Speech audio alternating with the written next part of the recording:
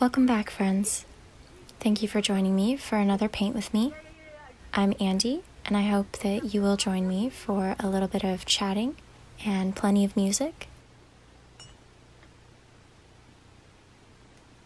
As always, if this isn't your thing, please feel free to mute the volume of this video and listen to your own playlist.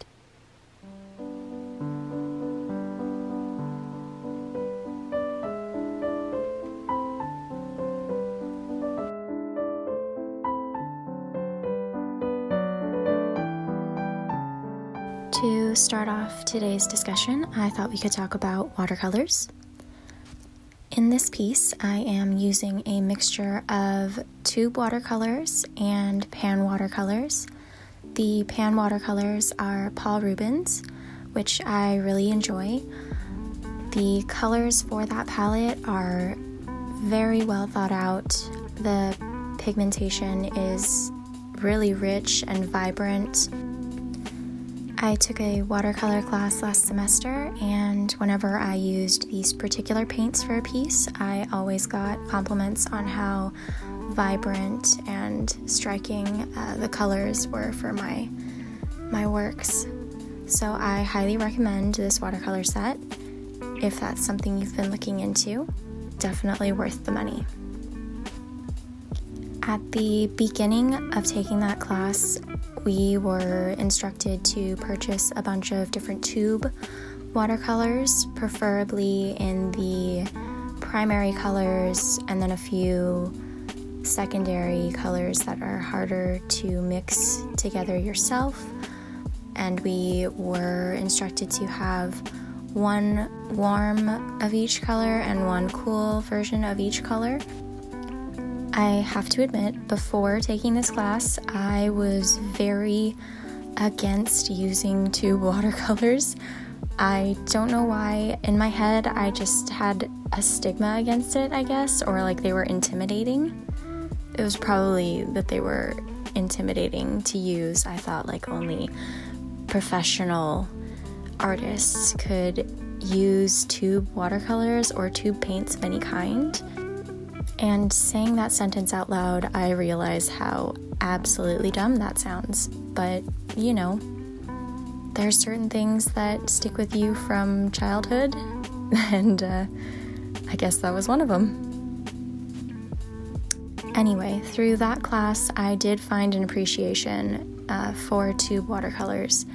I think that they definitely tend to be more concentrated which is something that you definitely want to look for in a watercolor paint because you can always make the color more muted by adding water, but it's really hard to build up a nice saturated color when the original paint is just not at that level of vibrancy. Regretfully, I have not had a chance to try very many different watercolor paint brands I am definitely in the market to look for some new ones. I'm not in any way committed to any of my tube watercolors that I have. I've used everything from the really super cheap Artist Loft Michaels brand pan watercolors. I have used the Gansai Tambi watercolors and the Paul Rubens in the pan but I am definitely willing to try new product. So if you guys have any recommendations for good watercolors or watercolors that you guys are interested in me testing out in these paint with me's, please let me know in the comments down below. That sounded cheesy even to me. I am sorry. And with that, I think we can take our first music break actually believe a single word I'm saying, do you? Oh, sure, of course I believe you. Great. Just repeat the words I'm about to say, all right? Moon, prism, power, makeup. Right! Moon, prism,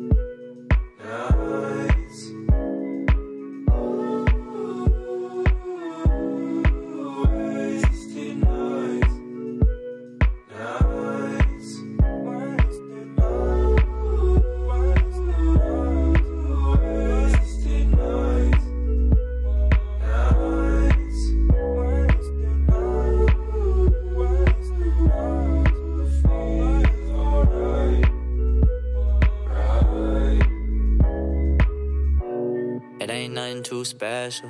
Drunk to the bone when I met you. I don't a fuck who the next dude. I don't really see no issues with it. Just one of those nights when you want my back. I don't want no love, you can have that back. I just want that peace of mind, throw it back one time.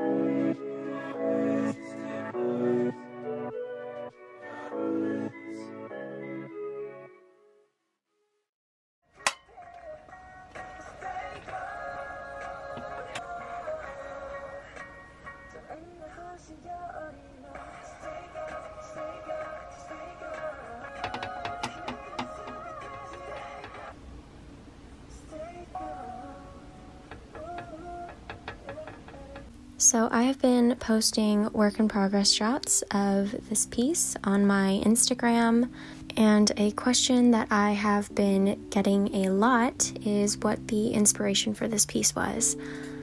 When I was younger, at my dad's house, there were these photographs of babies in like floral onesies, and I just remember thinking that those were one very strange, uh, but also kind of cute.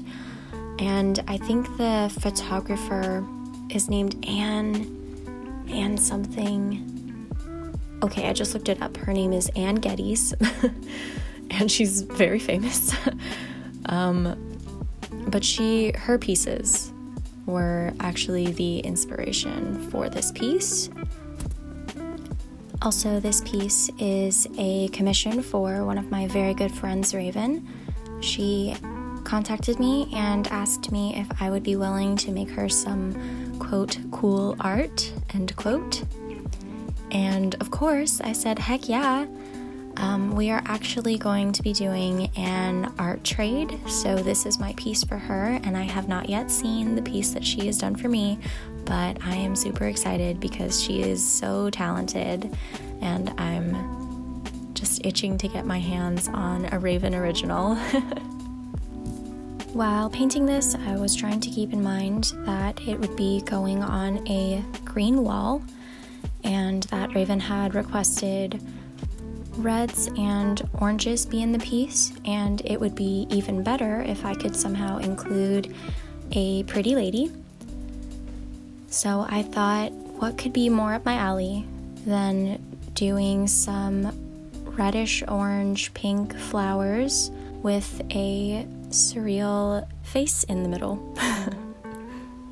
when I was initially drawing the sketch for this, it was very late at night, and I was just going off of memory of what I could actually remember of those photographs that I saw at my dad's house when I was growing up.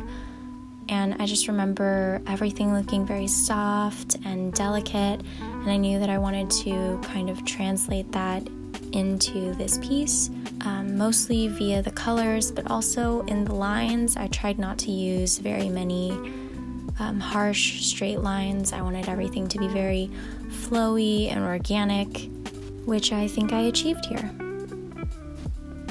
Oh, I just realized my coffee is getting cold, so we will cut to more music and I will be back once once once I have consumed my coffee.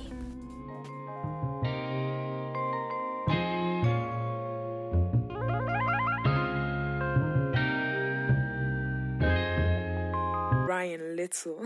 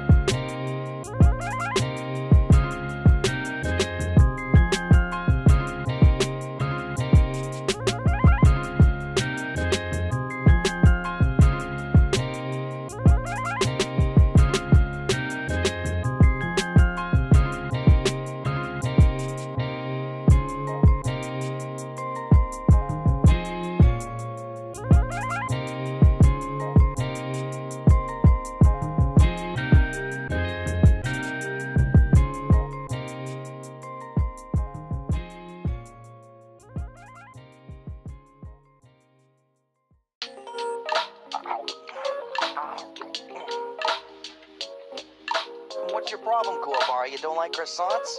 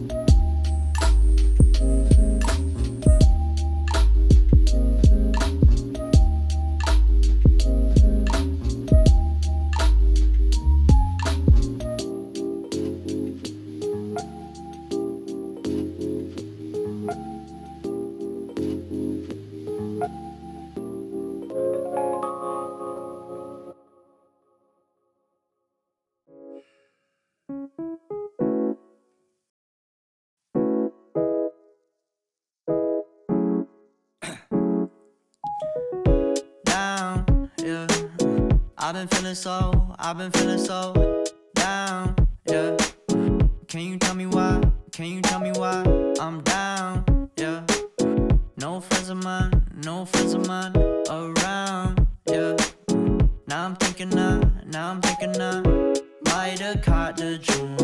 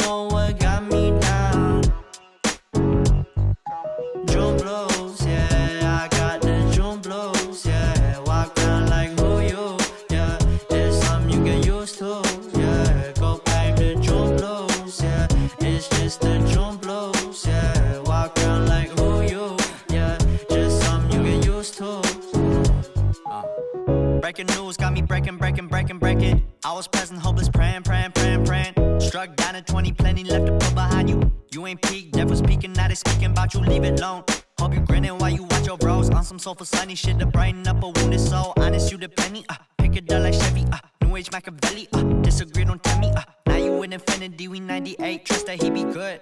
On the ball like BB, don't make no mistakes. Got the faith, the 18 just not gonna be the same. Finna be down generations, not gonna be in vain. Too young, why you gotta go? Why you gotta go? I just wanna know, I just wanna know now. Too numb, crying getting old, crying getting old. Hope you free your soul, hope you free your soul. I might have caught the June blues,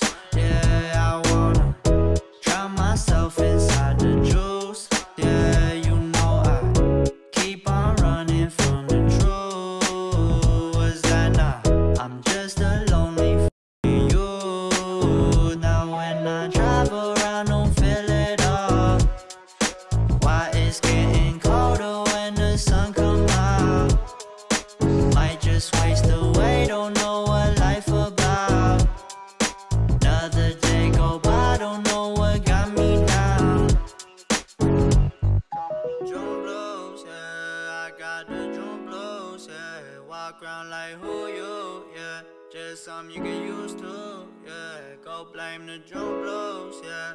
It's just the June blues, yeah. Walk around like who you, yeah. Just something you get used to, yeah. Today's original topic for discussion was going to be astrology, but that actually led me down a really strange rabbit hole.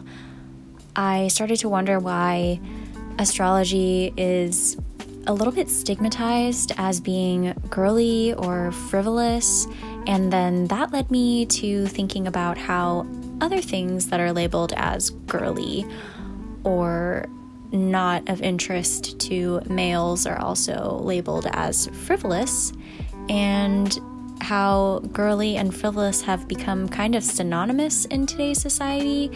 And not to get up on my feminist soapbox, but that's just really messed up. And I didn't want to end up turning this video into just an angry rant. So, anyway, my sun sign is an Aries and my rising sign is Scorpio. How about you? Actually, I'm uh, genuinely very curious to know. I love hearing about people's astrological signs and if they identify with the typical characteristics of those signs. I always think that's kind of fascinating. I'm also a big believer in energies and spirituality and things being connected. My friend Sita actually recommended this sound healing video to our group chat the other day, and at first, I and my initial gut reaction was to be skeptical, but you know, it's scientifically proven that cats purr at a frequency that is supposed to enable healing like and promote healing within other cats and they know that when their humans are sick they'll like sit on them and purr and stuff to you know promote healing in them so i don't see why sound healing is any less scientific than that. I don't know. Let me know your guys' thoughts because I 2020 is a real shit show of a year, but I I feel like I am becoming way more open to thoughts and ideas that initially I would have scoffed at. I remember reading a quote earlier this year that was something along the lines of growth is never easy. Oftentimes it's very difficult and rooted in struggle. Basically, nothing comes from comfort. Growth does not come from a place of comfort and familiarity.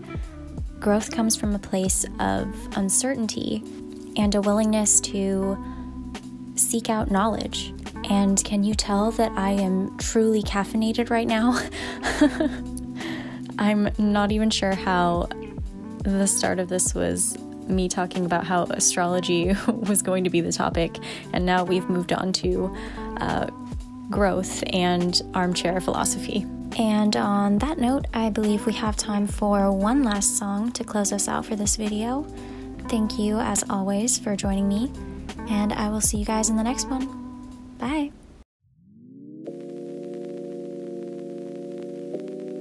I have no attachment to the name Battosai the Manslayer. Just the same, I can't allow someone like you to wear it.